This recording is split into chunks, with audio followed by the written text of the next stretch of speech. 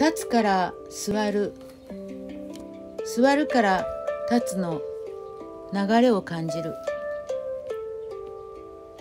立ったり座ったりすることを立つこと座ることと別々のことと思っていました。立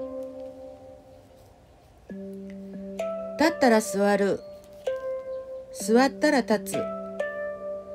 一つのつながりの流れとして動作をゆっくりと丁寧にします。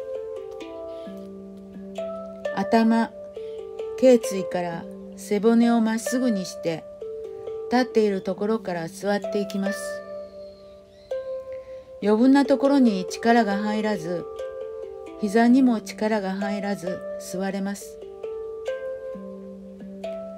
立つ時も同じ。背骨をまっすぐにしてゆっくり反動をつけずに立ちます。そうすると膝も太ももにも力が入らず立ち上がることができます。余分なエネルギーを使いません。こうして日々の生活で余分な力を入れず使わないでリラックスして暮らしていけたらと思います。